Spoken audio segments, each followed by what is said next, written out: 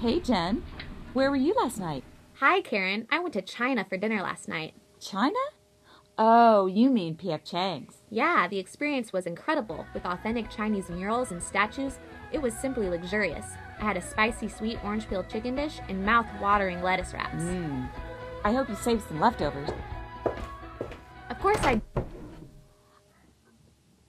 My leftovers. Uh, can I get some of that? Come to China. Visit one of our 190 locations for a luxurious and exotic experience of China. Make your reservation today at pfchangs.com. China is waiting at PF Chang's.